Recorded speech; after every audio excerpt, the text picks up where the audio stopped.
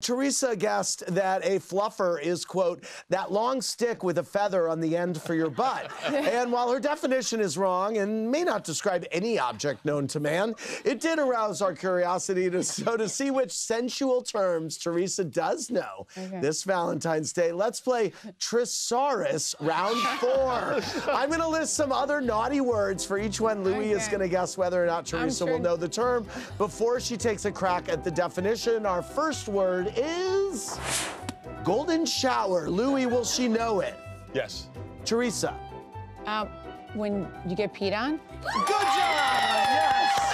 all right, all right. Okay, next word. I've never heard of that, but okay. I did Sorry, Mr. Wilkerson. Um, aphrodisiac. Yes. When you eat oysters. Well, I mean, that's the oysters are an aphrodisiac. Oh, okay. It is a substance that stimulates sexual yes, desire. Sexual, yes. Yeah, okay, yeah. next word is cunnilingus. No. Louie, will she know it? No. Do you know? Cunnilingus, something with like down there.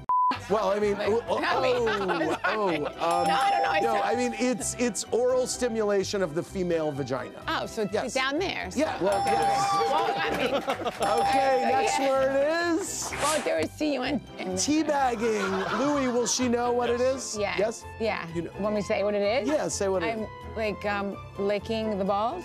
Well, when the balls are dangled like a teabag. Yes, absolutely. Okay. My apologies, Mr. Wilkerson.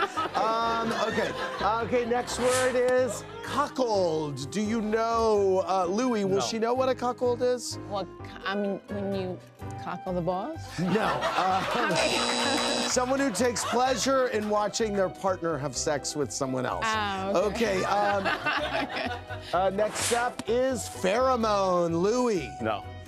Any idea? No. No, they're chemicals capable of acting like hormones outside of the body to get a reaction, like, okay. um, like sexual desire. Last term is uh, Dutch oven. Any idea, Louie? No. Any idea? No. no? Uh, it's when you pass gas in bed and pull the cover over Ew. your partner.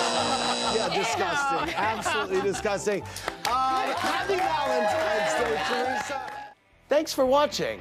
Watch more clips here and subscribe to our channel here. See ya.